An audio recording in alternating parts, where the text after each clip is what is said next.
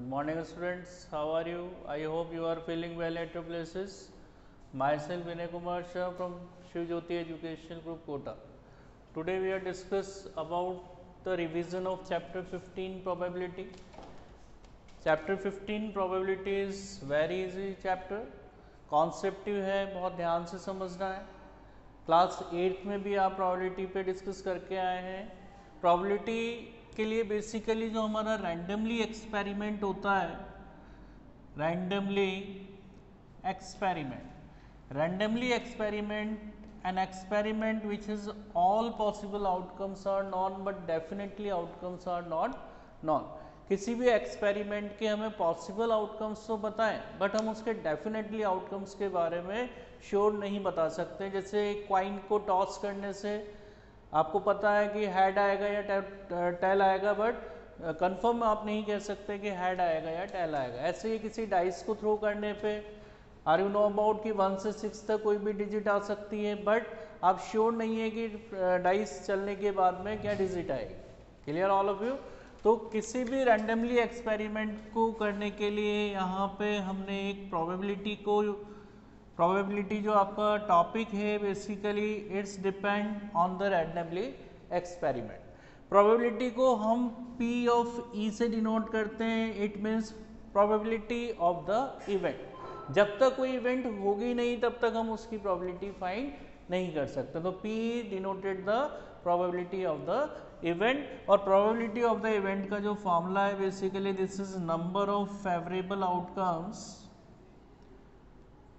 upon number of total outcomes number of favourable outcomes upon number of total outcomes हम इस फॉर्मूले की help से प्रोबेबिलिटी को फाइंड कर सकते हैं। This is empirical formula of probability and this is very important formula जब तक हमें ये फॉर्मूला याद नहीं है, तब तक we can't solve the question of probability clear probability को फाइंड करने के लिए हमें कुछ कॉन्सेप्ट्स भी याद रखने हैं कि किसी भी इवेंट की प्रोबेबिलिटी यदि ज़ीरो है now event is called impossible event event क्या कहलाएगी? This is impossible event clear किसी भी प्रोबेबिलिटी की वैल्यू वन आती है then this is called sure events M C Qs question में बेसिकली पूछा जाता है the probability of the event is zero then it is called तो आप कहेंगे इम्पॉसिबल इवेंट किसी भी प्रोबेबिलिटी की वैल्यू यदि वन आती है then you can say it is called sure events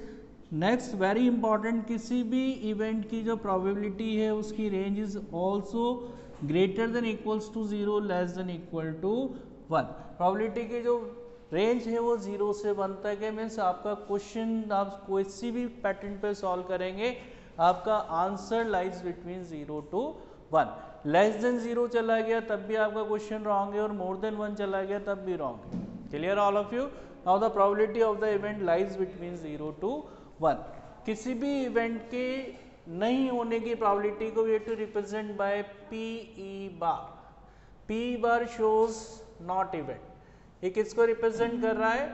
not event को। अगर आपको किसी इवेंट के नहीं होने की प्रोबेबिलिटी फाइंड करनी है तो you to write the formula P bar equals to one minus PE हम जिस प्रोबेबिलिटी की नॉट इवेंट फाइंड करनी है, हम उसको वन में से उस इवेंट के होने की प्रोबेबिलिटी को सब्सट्रैक्ट कर देंगे then we to find the probability of not event clear now next the questions based on probability, exercise 15.1 some important question of exercise 15.1 question number exercise 15.1 question number 1 question number 1 exercise 15.1 read the question.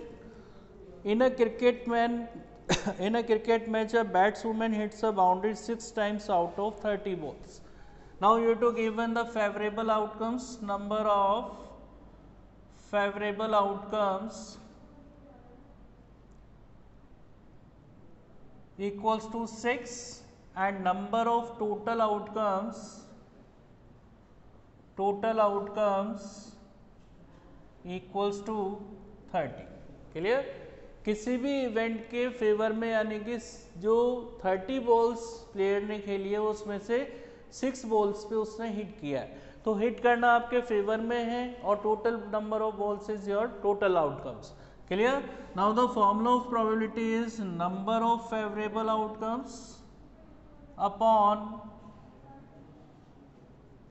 number of total outcomes. Number of favorable outcomes upon number of total outcomes. Clear?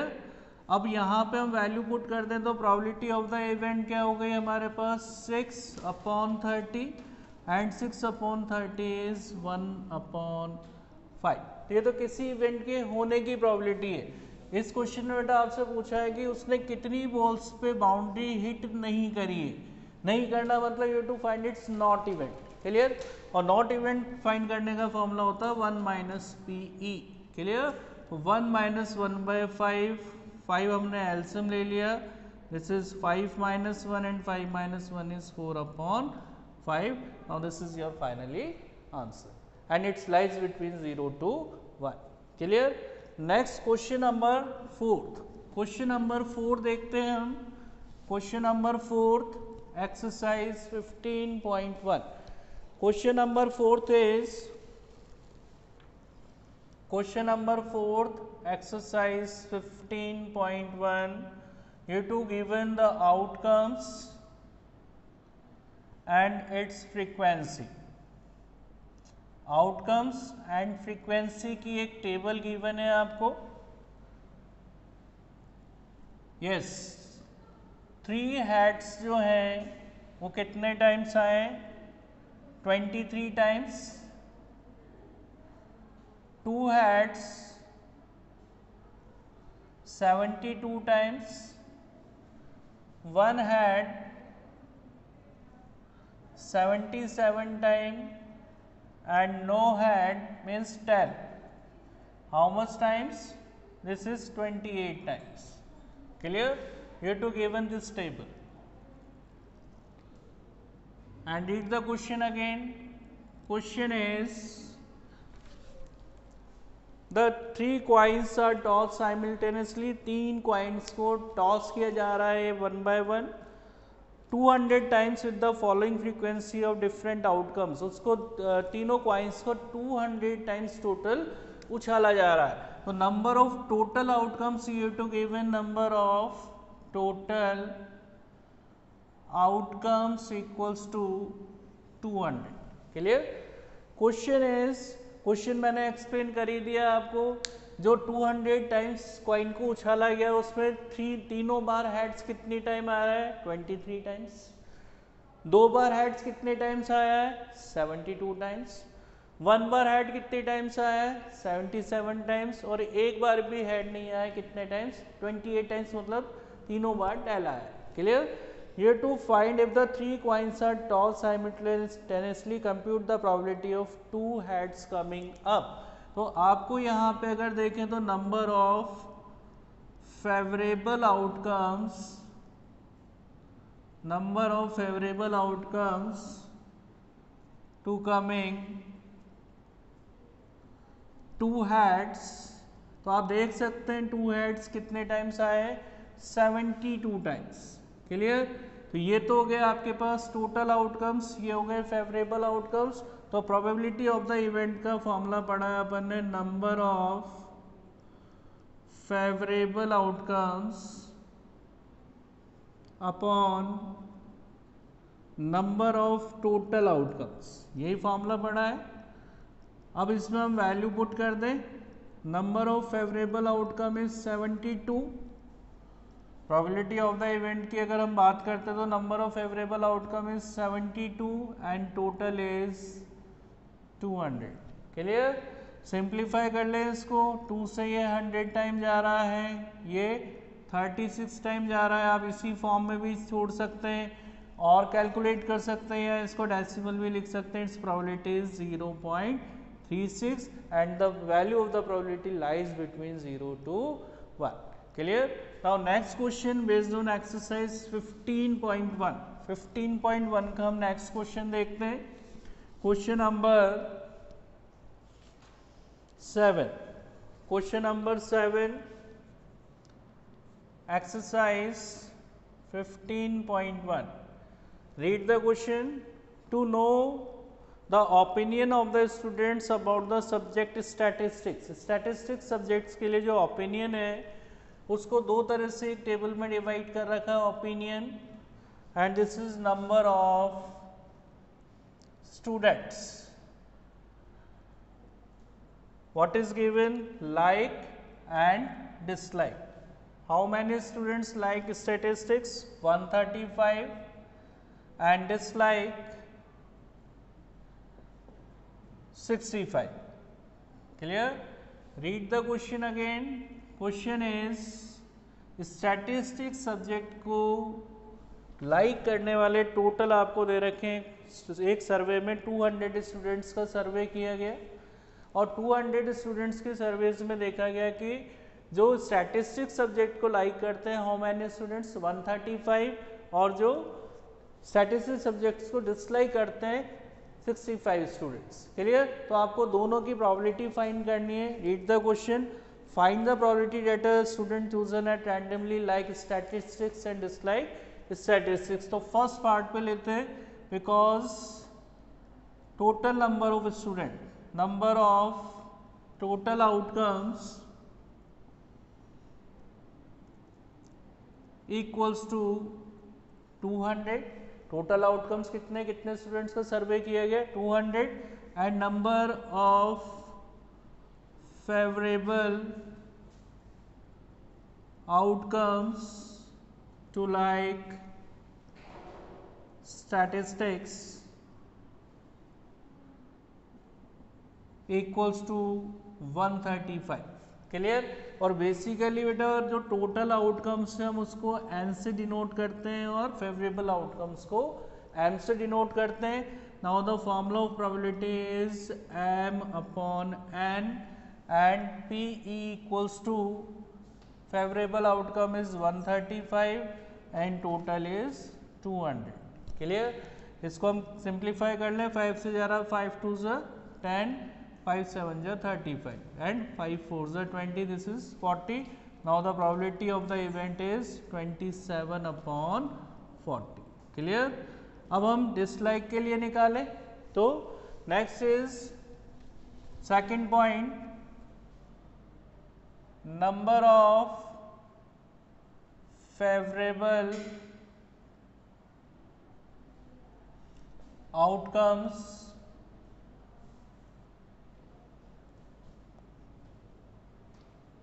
to dislike statistics statistics को dislike करने वाले how many students here to given 65 this is your favorable outcomes Total outcome is 200 now the probability of the event is m upon n.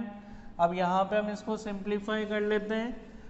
Favourable outcomes dislike statistics के लिए 65 and total is 200 2 से ये 100 time चला गया। Sorry ये 5 से 40 times चला गया।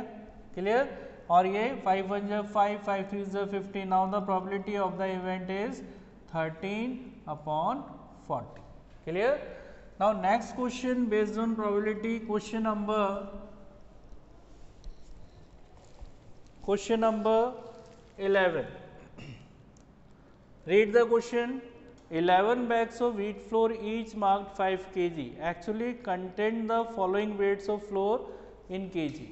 Flour का वेट दे रखा है इन के जी you to given 4.97 5.05 5.08 5.03 5.00 5.06 5.08 4.98 5.04 5.07 and 5.00 How many bags? 1, 2, 3, 4, 5, 6, 7, 8, 9, 10, 11. तो 11 बैग्स हैं। क्लियर और उनमें जो 5 के जी वीट फ्लोर है उसमें अप्रोक्सीमेट देखा गया कि भाई किसी में पॉइंट थ्री कम आ रहा है किसी में पॉइंट थ्री मोर देन आ रहा है इस तरह से आपको data given clear question is find the probability that any of this bags chosen at randomly contain more than 5 K G of flour तो number of favourable outcomes number of favourable outcomes more than 5 K G flow 5 K ji floor से more than जो आपके पास bags है how many bags one two three four five six and seven This is your favorable outcomes and number of total outcome is number of total outcomes equals to 11 this is n. And the formula of empirical formula of probability is m upon n. Number of favorable outcome upon number of total outcomes. Now, probability of the event is 7 upon 11 clear all of you? Probability topics clear हो गया सभी को। Practice करनी है question की। Thank you so much